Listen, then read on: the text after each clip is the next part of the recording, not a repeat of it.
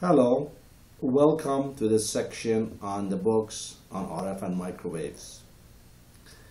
This section covers my very, very first book called Radio Frequency and Microwave Electronics Illustrated, published by Prentice Hall in 2001.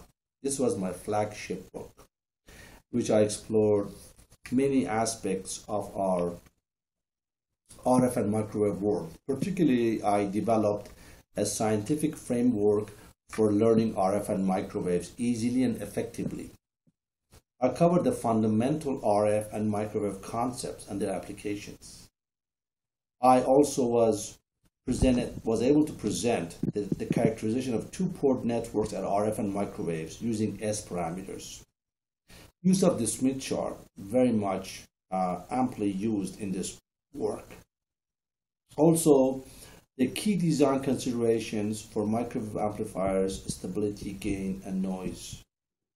And developed a series of workable considerations in the design of practical active circuits such as amplifiers, oscillators, frequency converters, such as mixers, and control circuits, RFICs and MICs, and novel use of live math in circuit analysis design, which was a Microsoft uh, live program, interactive program where you can download uh, or get a CD on the CD on this comes with a CD. You can use the CD to download the program, get the program from here, download to your computer, and be able to design circuits using this book. So this was the very, very first book that I did and was very popular, published in many parts of the world. Particularly, this book went to China and uh, translated into Chinese version of that came out in 2000, I believe, four.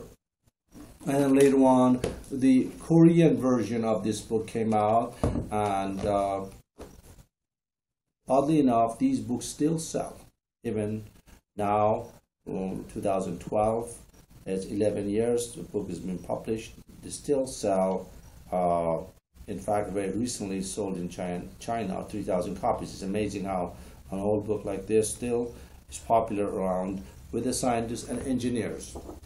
Anyway, so having done this, I moved on to another area where I realized that I could develop basics of design of microwaves and RF circuits. So I wrote this book called RF and Microwave Design Essentials, which is engineering design and analysis from DC to microwaves.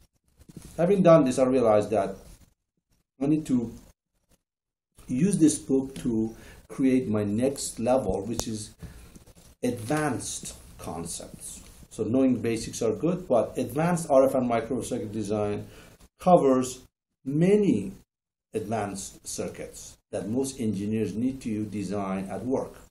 So this book is the subtitle Ultimate Guide to Superior Design and published in 2009.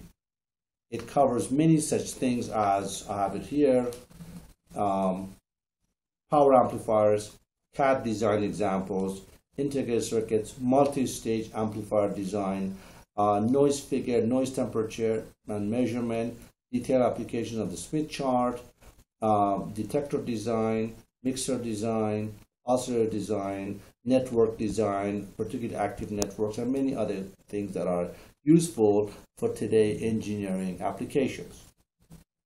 Then in 2011, I realized that these have been active circuit designs, so I developed my next work called Electronic Waves and Transmission Line Circuit Design, subtitled Your Illustrated Guide to Wave Engineering.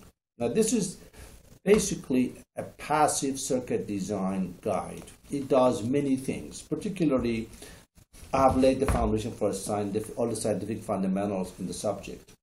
I examine transmission line postulates.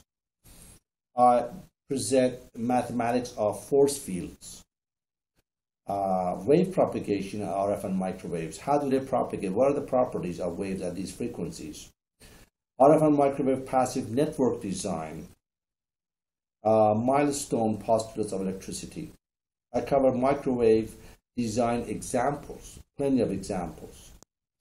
And then detailed application of the Smith chart, lumped and distributed element circuit design, the universal communication principle, plane waves in material media, both could be lossy or lossless media. We cover that in depth.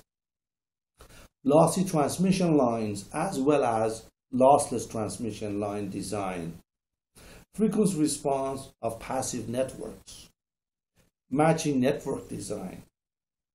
Uh, quasi-TEM transmission line design.